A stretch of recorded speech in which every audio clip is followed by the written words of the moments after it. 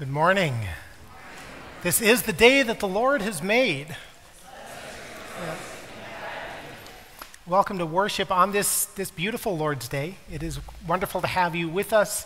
Um, if you are um, visiting, want to let you know that there is coffee fellowship afterwards. That's going to be around the corner in the back, and we'd love to have you spend some time with us so we can get to know you.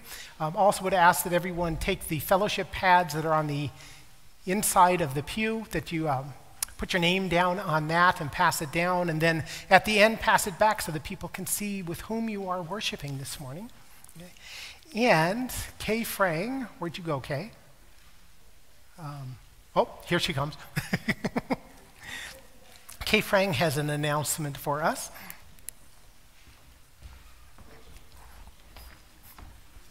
Didn't mean to make you run, but.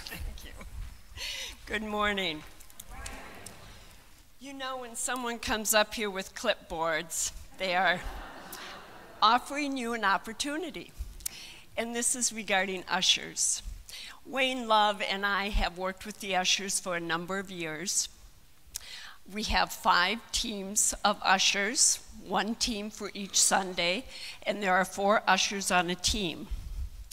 Their responsibilities include doing some tasks before the service starts and after. And then during the service, those tasks are pretty much visible to you. The perks of being an usher is, are, you get to serve your church, and also you get to put a name with a face as you welcome people into, this, into the sanctuary. We are in need of some ushers, and we are in need of some, some substitutes. On the first page, you can sign up to be an usher, and on the second page, you can sign up to be a sub. I'm going to put a clipboard on each side, and hopefully, these clipboards will make it to the back of the church by the end of service with names on it. And uh, Wayne and I will collect them at the end of the service. So, thanks for considering doing this service for your church. And now let us continue our worship as we listen to our prelude this morning.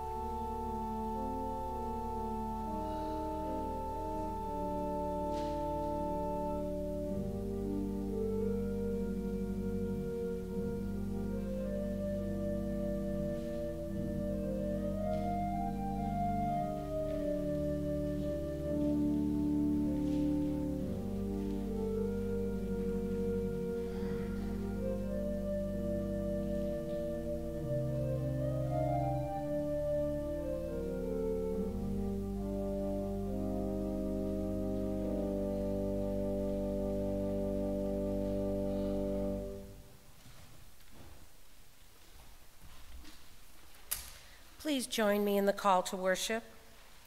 Lift up your heads, O you gates. Be lifted up, you ancient door, that the King of glory may come in.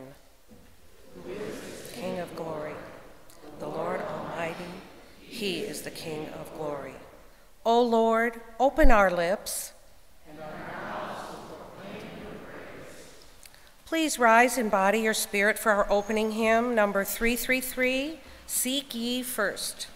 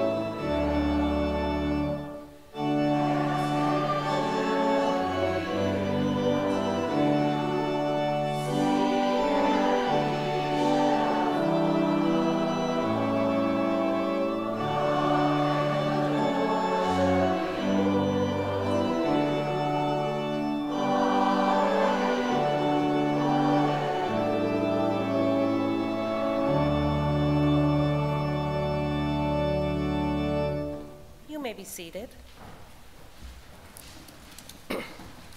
Please pray with me. Eternal God, you set Jesus Christ to rule over all things and made us servants in your kingdom. By your Spirit, empower us to love the unloved and to minister to all in need. Then, at the last, bring us into your eternal realm where we may worship and adore you and be welcomed into your everlasting joy. Through Jesus Christ our Lord, who lives and reigns with you in the unity of the Holy Spirit, one God, forever and ever. Amen.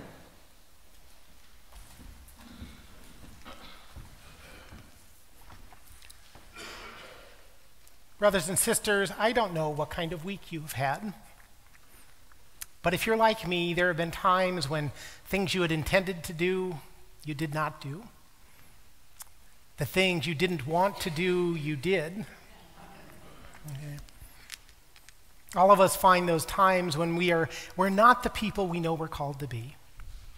But we have a God who is faithful, who loves us and forgives us over and over and over. And so we take this opportunity become, to come before God, confessing our sin, confessing our shortcomings, confident of his love and forgiveness. So let us confess our sin before God and one another, first silently and then together using the printed prayer.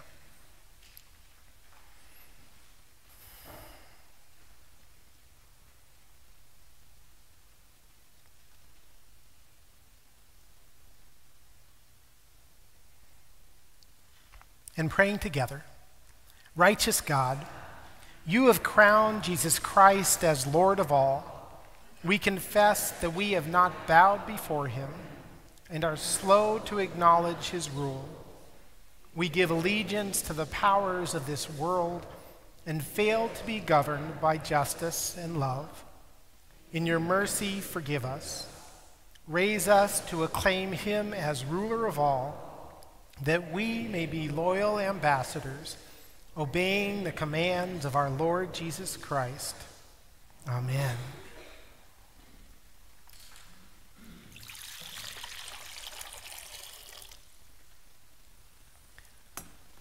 Brothers and sisters, here with the waters of baptism, let us hear the good news. Do not weep. See, the lion of the tribe of Judah, the root of David, has triumphed. With his blood, he has purchased people for God from every tribe and language and people and nation. He has made them to be a kingdom and priests to serve our God, and they will reign on the earth. In him we are forgiven. Thanks be to God.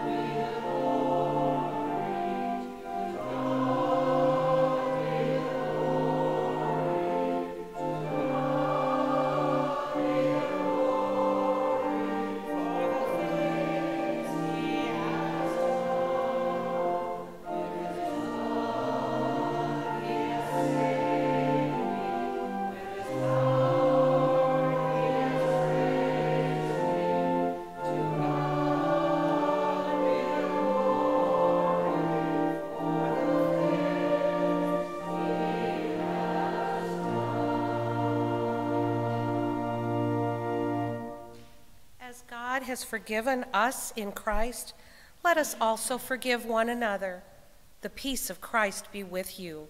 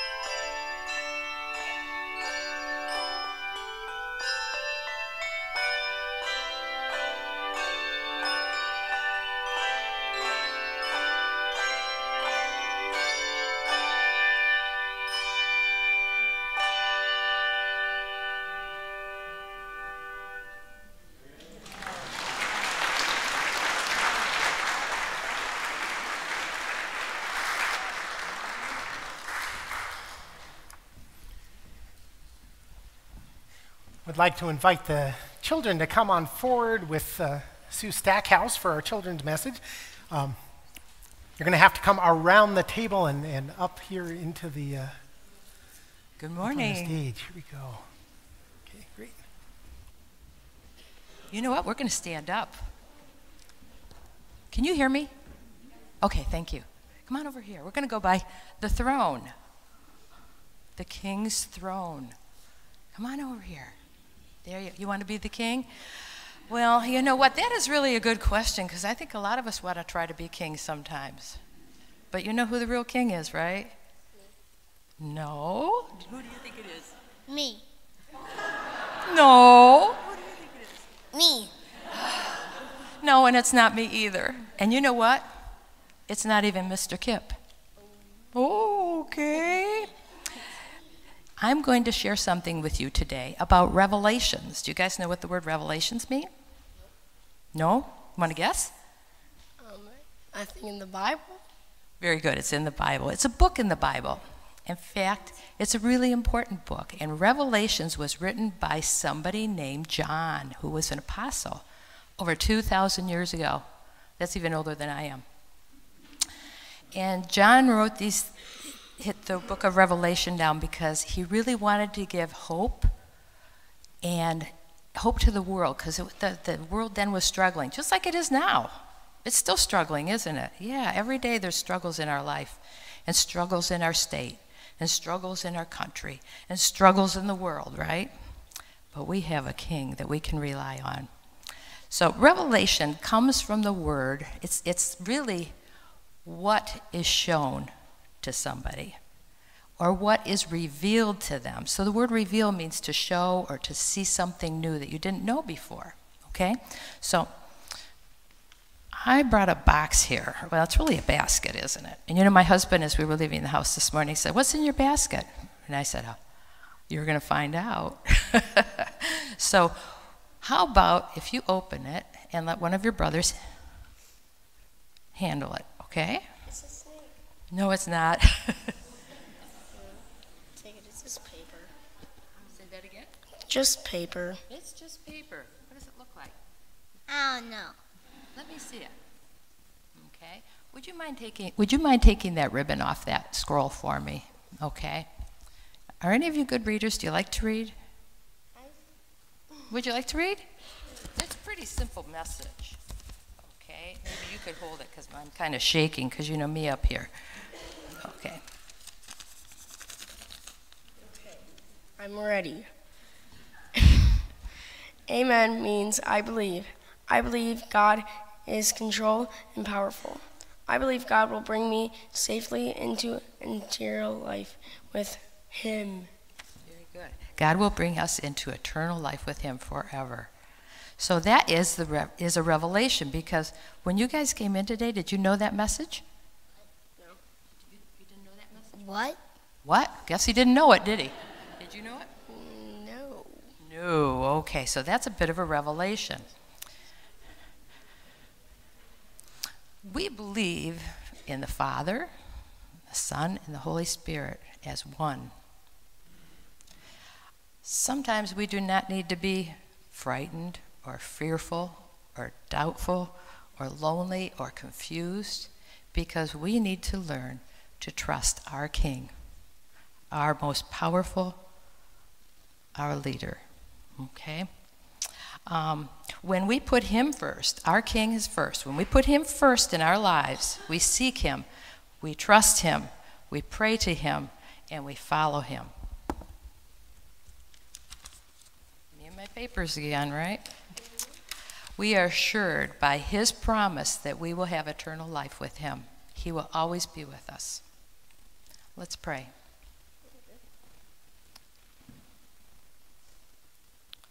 Lord, we thank you for your promise of eternal life. May it give us strength and courage to always put you first in our lives. We trust that you are all powerful and that you will, and that your will will be done. In your name we pray. Amen. Thank you so much for coming up.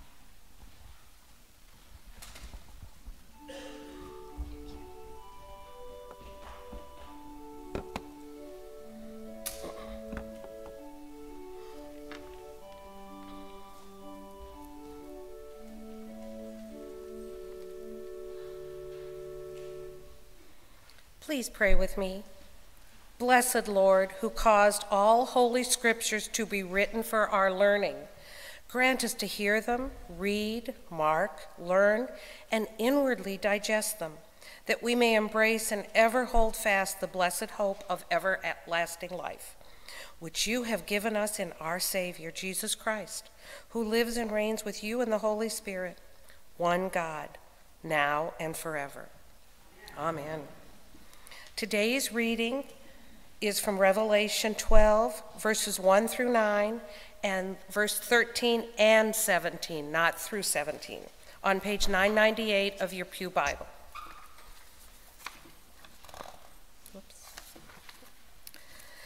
Hear the word of the Lord. A great sign appeared in heaven a woman clothed with the sun, with the moon under her feet and a crown of 12 stars on her head. She was pregnant and cried out in pain as she was about to give birth. Then another sign appeared in heaven an enormous red dragon with seven heads and ten horns and seven crowns on its heads.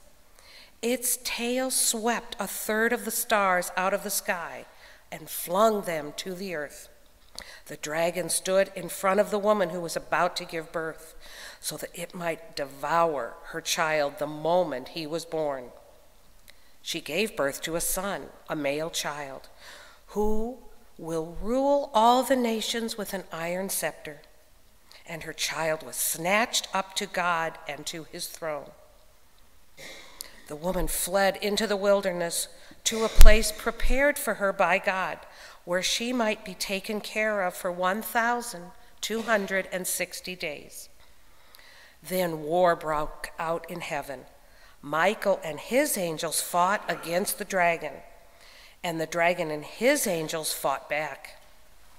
But he was not strong enough, and they lost their place in heaven. The great dragon was hurled down, that ancient serpent called the devil or Satan who leads the whole world astray. He was hurled to the earth, and his angels with him. When the dragon saw that he had been hurled to the earth, he pursued the woman who had given birth to the male child. Then the dragon was enraged at the woman and went off to wage war against the rest of her offspring, those who keep God's commands and hold fast their testimony about Jesus Christ the word of God for the people of God. The, sec- the first epistle reading is from Revelation 13, verse 1, 5 through 14, and 18, also found on page 998 of your Pew Bibles. Hear what the Spirit is saying to the churches. The dragon stood on the shore of the sea, and I saw a beast coming out of the sea it had ten horns and seven heads and ten crowns on its horns, and one, and on each head a blasphemous name. The beast was given a mouth to utter proud words and blasphemies, and to exercise its authority for 42 months. It opens its mouth to blaspheme God and to slander his name and his dwelling place and those who live in heaven. It was given power to wage war against God's holy people and to conquer them. And it was given authority over every tribe, people, language, and nation. All inhabitants of the earth will worship the beast, all whose names have not been written in the Lamb's book of life, the Lamb who was slain from the creation of the world. Whoever has ears, let them hear. If anyone is to go into captivity, into captivity they will go. If anyone is to be killed with the sword, with the sword they will be killed. This calls for patience, for patient endurance and faithfulness on the part of God's people. Then I saw a second beast coming out of the earth. It had two horns like a lamb, but it spoke like a dragon, and made the earth and its inhabitants oh, I'm sorry, it exercised all the authority of the first beast on its behalf and made the earth and its inhabitants worship the first beast, whose fatal wound had been healed. And it performed great signs, even causing fire to come down from heaven to the earth in full view. Oops. in full view of the people. Because of the signs, it was given power to perform on behalf of the first beast. It deceived the inhabitants of the earth. It ordered them to set up image in honor of the beast who was wounded by the sword and yet lived. This calls for wisdom. Let the person who has insight calculate the number of the beast, for it is the number of a man. That number is 666. The word of God for the people of God.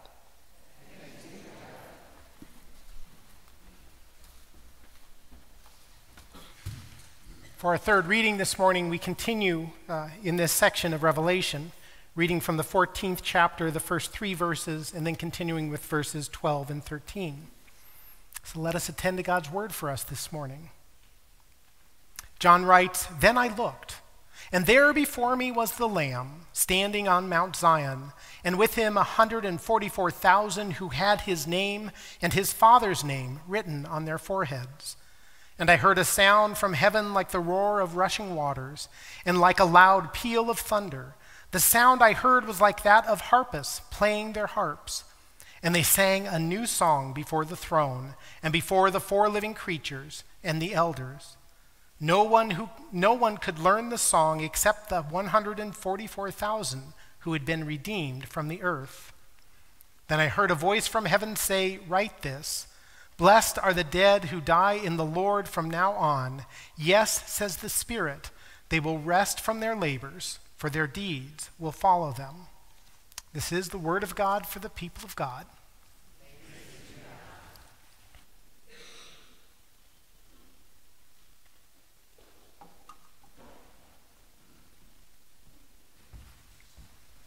Please pray with me? Lord our God, May the words of my mouth, may the meditations of all our hearts and our minds be acceptable in your sight. For you alone are God. You are our rock and our Redeemer. Amen.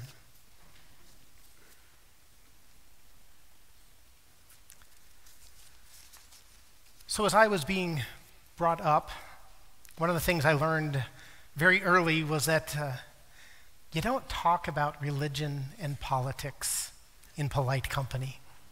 It's just a bad idea. Right? You don't talk about religion and politics, but we're going to talk about both this morning.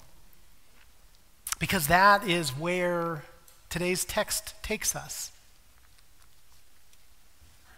I don't know how many of you were here when we began this series on the book of Revelation. But one of the things that uh, I mentioned early on was that this book of Revelation has nothing new in it. Everything that is in the book of Revelation is in the other 65 books of the Bible. But John, as, as a prophet, as a pastor, and as a poet, he retells what's in the other 65 books in such a way that it, it engages our imaginations in a new way and speaks to us afresh. Nowhere is that more apparent than in the first story we read this morning that vision in chapter 12. It's a story that, that we know well. We talk about it every year. It's in Matthew, it's in Luke. We know the story about, about the shepherds in the field and the angels appearing to them. About Mary and Joseph traveling to Bethlehem, about the birth of this little baby and having, having him laid in a manger, and the Magi showing up. We, we know this story, and it's sweet and it's, it's kind of nostalgic and gentle and encouraging, and it's the Christmas story. And yet, John retells the story of the birth of Jesus in a very different way. He talks about a woman clothed in the sun with the moon under her feet and a crown on her head, pregnant and crying out in pain as she's about to give birth, and a dragon.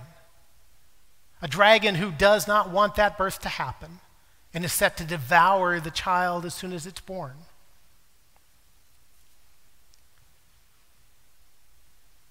John retells this story in, in ways that are new and startling and they engage our imagination. Because he wants us to understand that the birth of Jesus is not just an important thing that happened one time. The birth of Jesus is not just an event that, that changed the course of human history. The birth of Jesus is the center of all history. The incarnation, the nativity, is the event that makes all the rest make sense, that holds it all together. Christ's birth isn't just earth shattering, okay? it's cosmos shattering. It changed everything. It's the most significant thing that has happened ever. And this, the devil, Satan, the dragon, did not want it to happen. And John gives us some, some hints about what's going on here.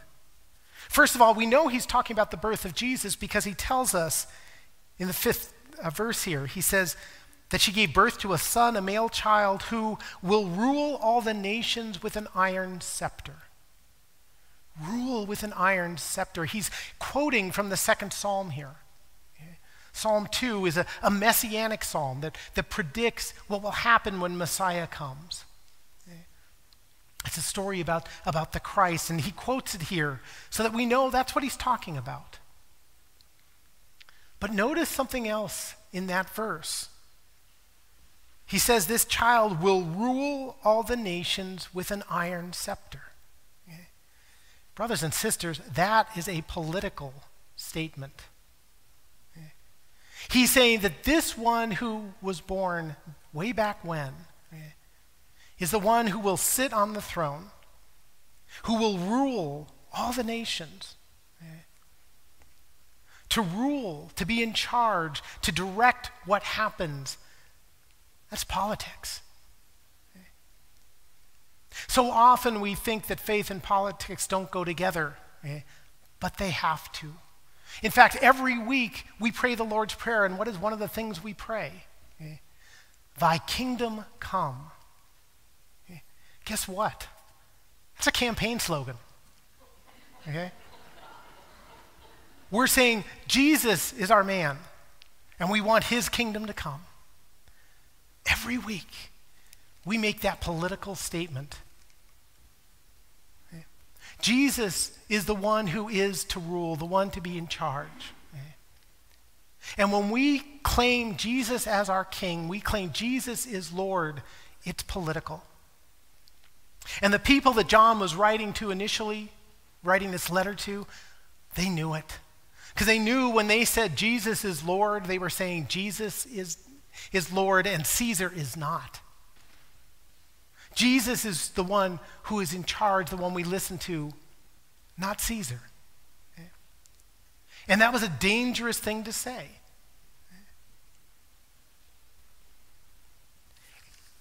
It's the kind of thing that that gets people in trouble.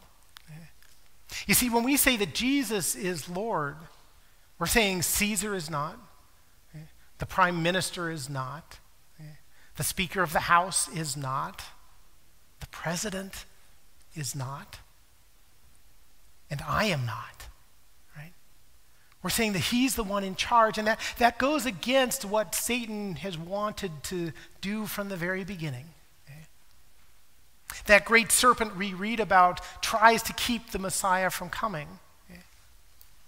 Because early on, we read in Genesis how that same serpent convinced the first people to turn from God, to try and be in charge for themselves, eh, to be their own gods. Eh. And the birth of the Christ takes that away. Eh. It puts the power back where it belongs on Christ's throne.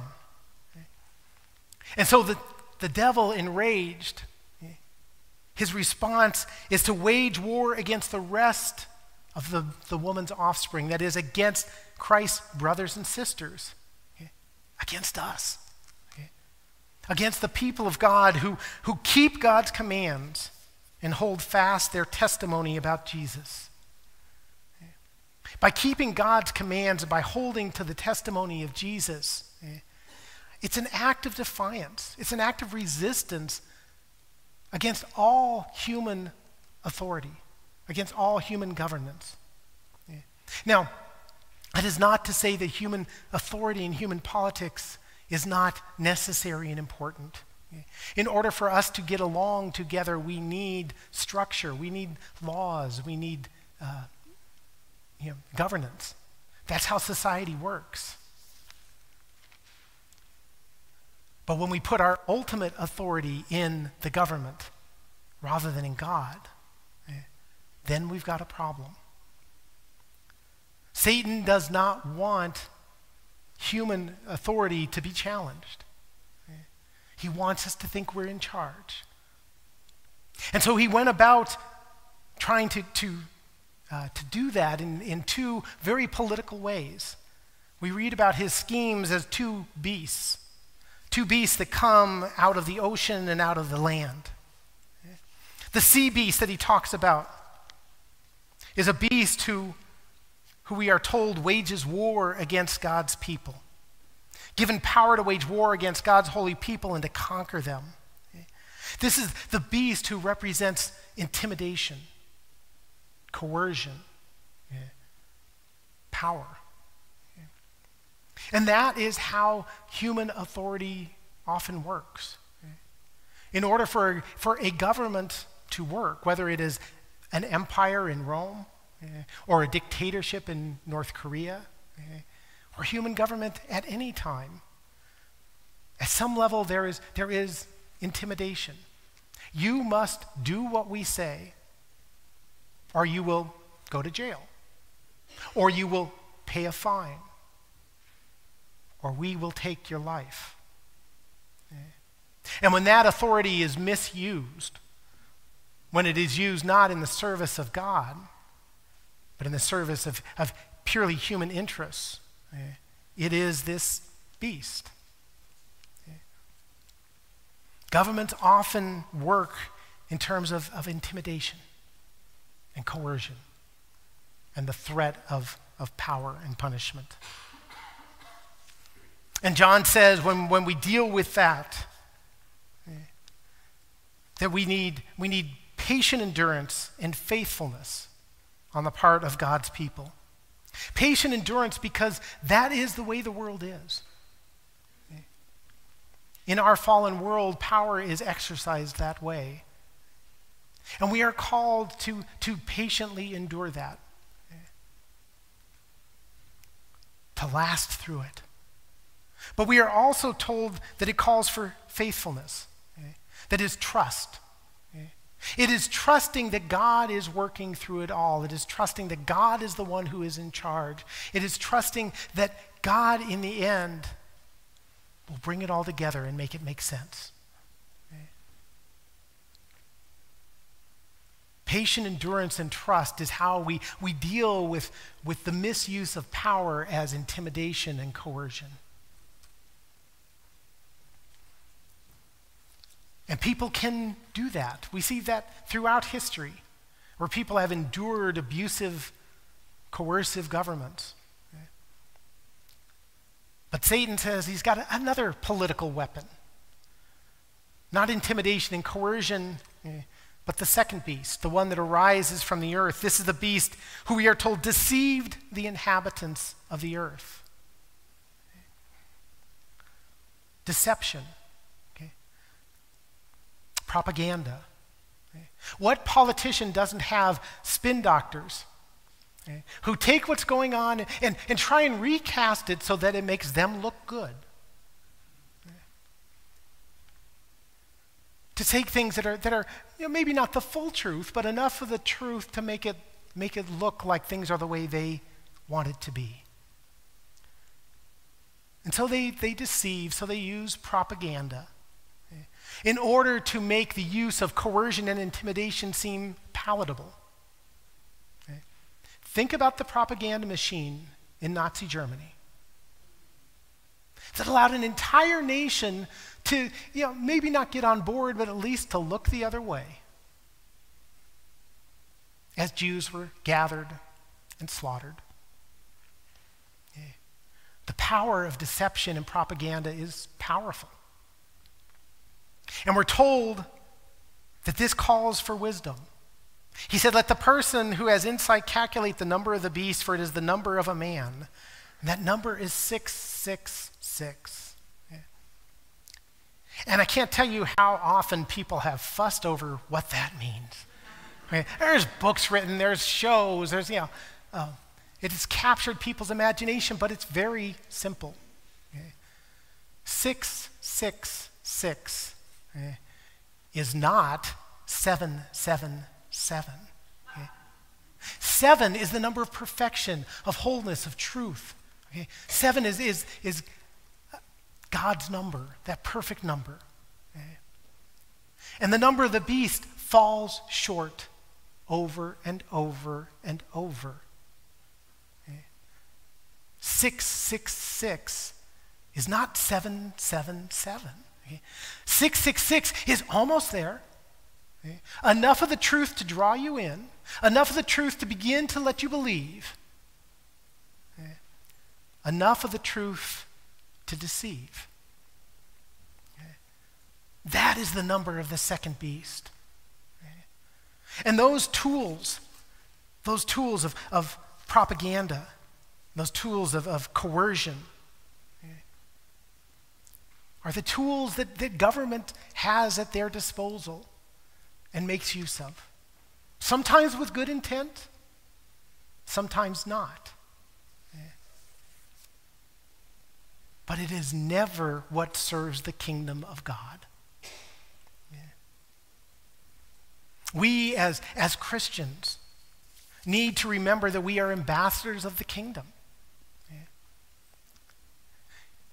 And we can't, we can't live in the world and not have to deal with politics. And so, as, as we look at, at a world that is not what it's supposed to be, right? at a world where God's kingdom is not being fulfilled as quickly as we would like, right?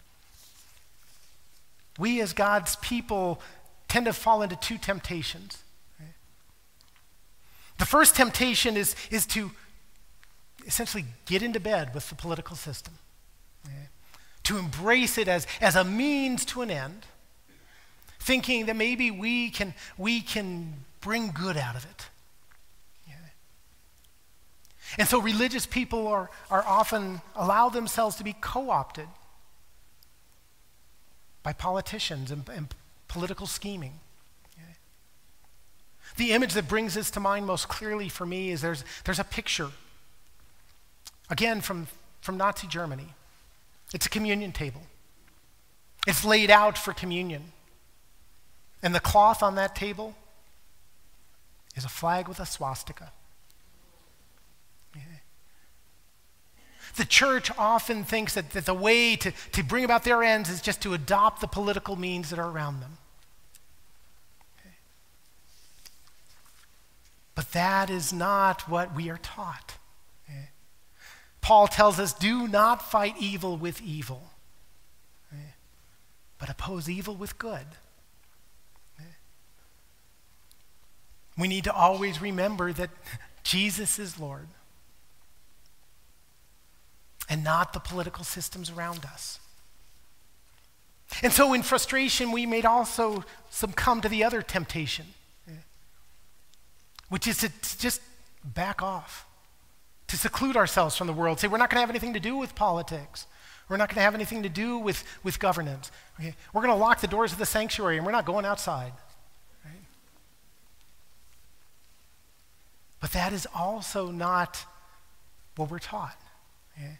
We are told that we are to be ambassadors for Christ. Okay? An ambassador cannot like, lock themselves in the embassy okay? and not interact with the people, not interact with the, the governance of the country they are called to be an ambassador too.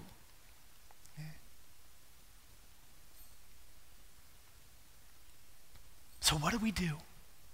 How do we adopt not the politics of, of coercion or the politics of deception, but the politics of grace, the politics of Jesus, where we're really given three, uh, we're given more means, but there, there, are three means that, that come to mind quickly okay, on how we, how we deal with this, a world in which we are part of the political system and called to be engaged and called to be ambassadors. What do we do to find that, that patient endurance and faith? How do we find the wisdom we need to engage politically? Well, the first thing we do is what we're doing right now we worship. We worship. Every week we gather together. We gather in, in, in this place, we gather in other places. We gather to proclaim that Jesus is Lord. We pray to God, not to Caesar. We come before, before God trusting Him to care for us, to provide what we need, okay? and trusting Him to be in charge. We pray to Him, we sing His praise. And that is a political thing. Because as soon as we do that, we're not out proclaiming Caesar. Worship is the first thing we do in order to, to practice a politics of grace. Because worship shapes us and reminds us whose we are and where we belong. Reminds us that, that we may be Americans and we're thankful for that, but our citizenship is in heaven. And that's where our first loyalty lies. And so when we gather in worship, that shapes us. And the th- second thing we do is also what we're doing right now it's, it's preaching. Right? It's the preaching of the word, it is hearing God's word read and proclaimed that helps us to gain the wisdom to see when it's six and not seven. Okay? to have the wisdom to see through the deception and the, and the, the illusion of this world. And preaching is not here to tell us what to do. My job as a preacher is never to tell you to, who to vote for. It's not my job as a preacher to tell you what party to, be, to belong to. My job as a preacher is to connect you with God's truth. My job as a preacher is to help you encounter the Holy Spirit so that you are shaped and formed into the kind of people who are ambassadors. Ambassadors sent into the Democratic Party, ambassadors sent into the Republican Party, ambassadors sent into collections of independents, right? People who speak God's truth in the midst of wherever you are found to be so shaped by God's word, so shaped by Christ's spirit, that when you vote, you're not voting what the pastor tells you to do. You're voting according to how you have been shaped by your faith. The idea that, you're, that you shouldn't be told how to vote by your religion, yes, that is true. The idea that your faith shouldn't impact how you vote is a lie. Our faith should impact everything we do including how we vote. Preaching helps us to encounter God's truth and shapes us to go out and, and be ambassadors. And the third way we respond in a political world, we respond with the politics of, of Christ, the politics of grace, is in the way in which we live. We live holy lives. We go out there and live with, with integrity right? in a way that is congruent with what we say we believe. Right? Because how we live speaks volumes. I was listening to a story on NPR just recently where they were talking about how the, uh, the behavior, the ethical behavior and moral behavior of, of CEOs affects their companies. Because some argue that, you know, your professional life and your personal life, those are separate. It's nobody's business what you do on your off time, right? And yet, those CEOs who, in their off time, okay, were involved in, in sexual issues, they were involved in adultery, okay, those who were involved in, in gambling problems okay, or, or misuse of funds. Okay. Things that may not have had any direct impact on their professional career as a CEO. Okay. And yet, when those happen, the value of the company drops. I think it was an average of 3 or 4% in stock values, which is a lot of money in a multi billion dollar corporation. And the overall value of the company for, you know, for years and years decreases. Okay? Yes, it's the message that matters, okay? but the messenger matters too. Okay? And so we need to be out living lives that reflect the truth we know, that reflect the truth we proclaim. And not saying that, well, you know, what we do on Sunday is one thing, but what I do during the rest of the week is another. We worship. We engage in, in God's word. And we live holy lives. And in doing so, we influence the world around us. It is not the politics as usual. It's not the way we, we are taught to think about yield, you know, wielding power. Okay? Instead, we are doing what's talked about in, in the 14th chapter. Okay? We are learning to sing a new song. We're singing a new song about a new way of doing things, about a kingdom way of doing things, about a way that says Jesus is Lord. And we, as his followers, don't engage in intimidation. We, as his followers, don't engage in deception. Instead, we worry about loving God and loving neighbor. Instead, we sing a new song that is, is like the one that Paul gives us in, in the second chapter of Philippians, where we're told in your relationships with one another, in all your relationships, including your political relationships, in your relationships with one another, have the same mindset as Christ Jesus, who, being in very nature God, did not consider equality with God something to be used to his own advantage. Rather, he made himself nothing by taking the very nature of a servant. And being found in appearance as a man, he humbled himself and became obedient to death, even death on a cross.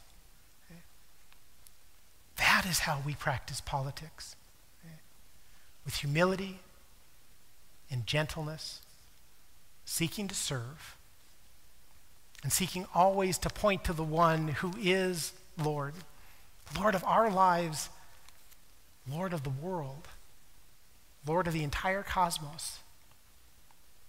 And when we live those lives and practice those politics, eh, it makes a difference and we are promised, Blessed are the dead who die in the Lord from now on. They will rest in, from their labor, for their deeds will follow them. It has eternal consequence. That's John's vision of politics. And in this time and place, I think it's a vision we desperately need to catch. In the name of the Father, and the Son, and the Holy Spirit. Amen.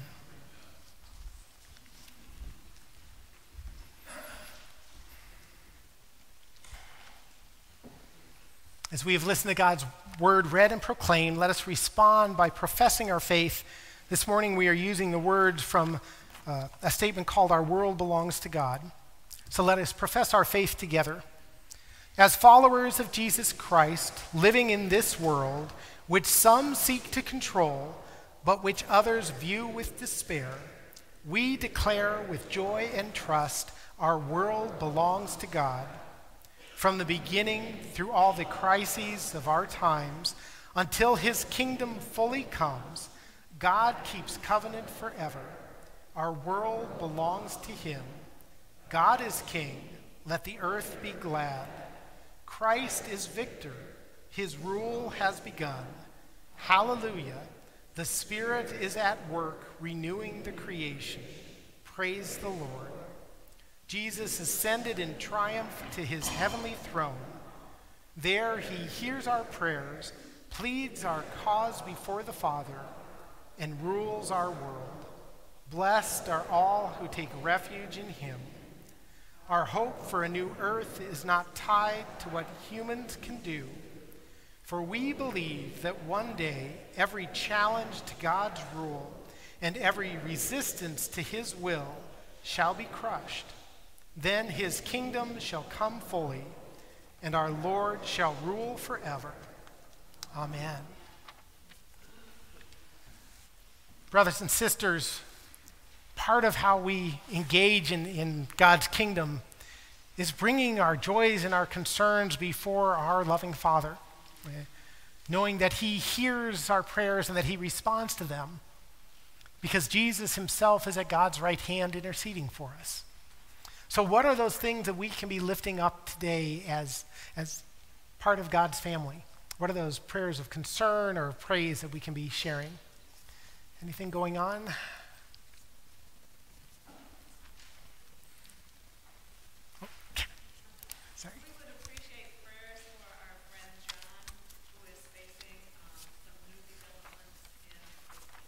Okay. So prayers for John, who is uh, dealing with, with cancer issues. Yeah.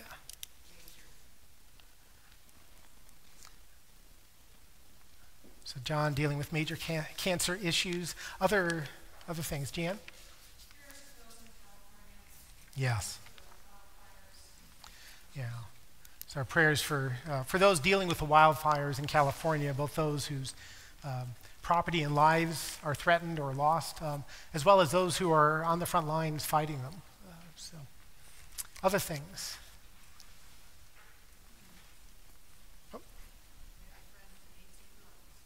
A friend who needs new lungs. Okay, so prayers for God's presence with them and, um, and for those new lungs. If, uh, anything else this morning? Yeah, Judy? Yes, it's great to have Joan back with us for, uh, for a while. Um, so, yes.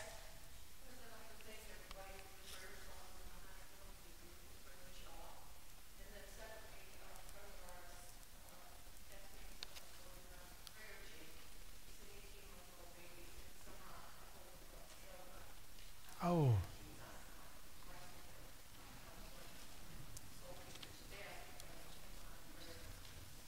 Okay.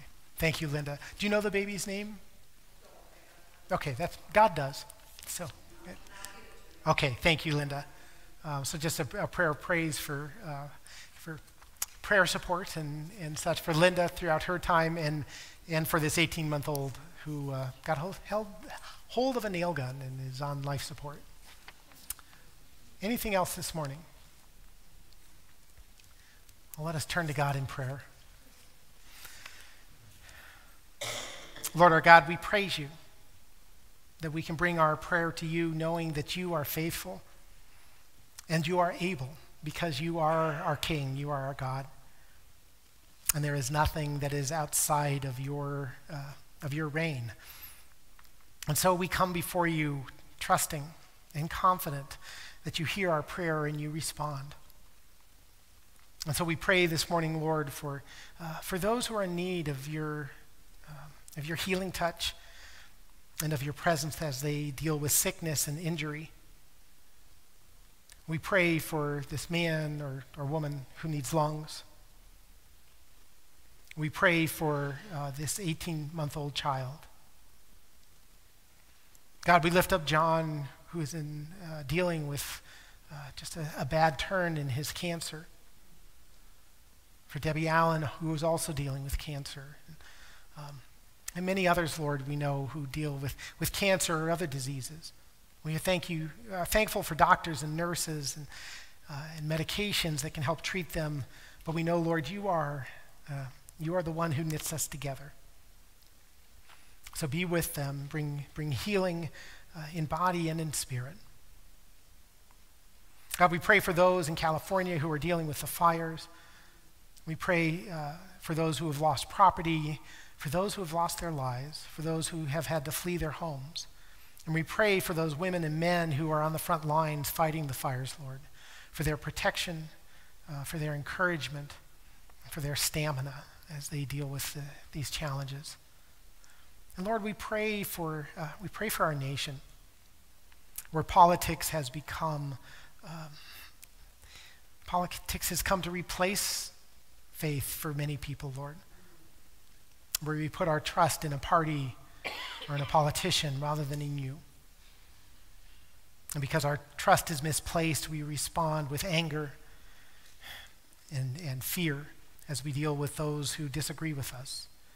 So we pray, Lord, for your wisdom and your endurance and your faith as we seek to be those who bring uh, a new song to our politics. And God, we, uh, we know that there are prayers that have been unspoken. There are prayers that feel too personal, too painful, too trivial. But we entrust all of them to you, knowing that you care for us. Because of Jesus Christ, in whose name we pray, our Father, who art in heaven, hallowed be thy name. Thy kingdom come, and thy will be done, on earth as it is in heaven. Give us this day our daily bread and forgive us our debts as we forgive our debtors. And lead us not into temptation, but deliver us from evil. For thine is the kingdom and the power and the glory forever. Amen. And now, as we prepare to receive our offering this morning, let us remember that uh, God calls us to offer our whole lives to Him, that there is nothing that He does not claim as His whether it is our, our resources, whether it is our politics, whether it is our relationships, uh, everything we do in private and in public. So as you place something into the plate or as it goes by, imagine putting your entire self into that as we offer ourselves to God.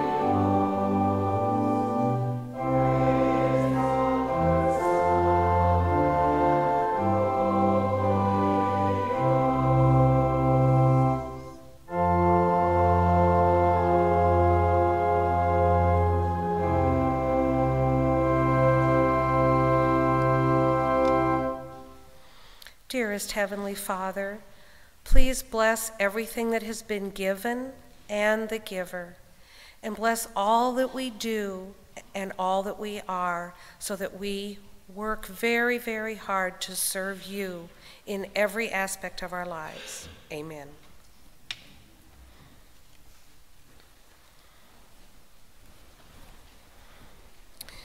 Please join us in our closing hymn, number 139 Come, Thou Almighty King.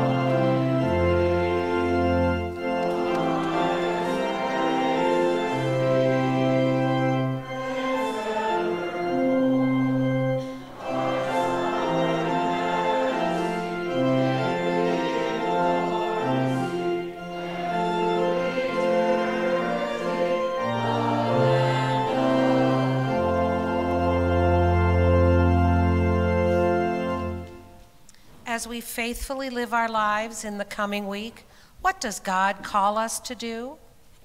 God calls us to be a Christ centered missional church that proclaims the Word of God and demonstrates the relevance of His Word to all people. And, brothers and sisters, as we leave this place, let us remember we have a new song to sing. So let's go canvass our neighborhoods and sing that song. And let us go with God's blessing. May the grace of our Lord Jesus Christ and the love of God and the fellowship of the Holy Spirit rest on and abide in us now and evermore. Hallelujah and amen.